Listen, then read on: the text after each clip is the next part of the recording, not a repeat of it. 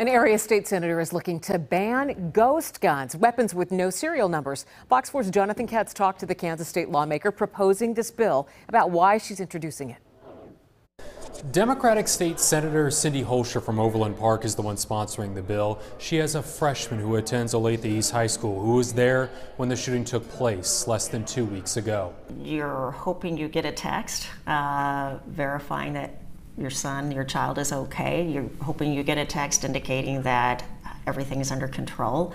Um, I actually received a message from a journalist saying there was a shooting at Olathe East, and I got that message before I got any other um, notifications. Fortunately for Holscher, that text message came, and now she plans on sponsoring a bill that would ban ghost guns in the state. Holscher's bill doesn't have a number yet, though, so state senators like Republican Rob Olson, whose district includes Olathe East, haven't read it yet, so he doesn't know whether he'd support it. The the perpetrator violated a few laws uh, to do what he did, and uh, you know another restriction's not going to stop him. I mean, it was posted on the front door of the school not to carry firearms in, and he did it anyway. And Olson said it is late in the legislative session for lawmakers to be bringing up bills right now. He says what's more likely to happen is for lawmakers to have discussions on this in the summer, and then Holscher's bill would more likely to pass in the next legislative session.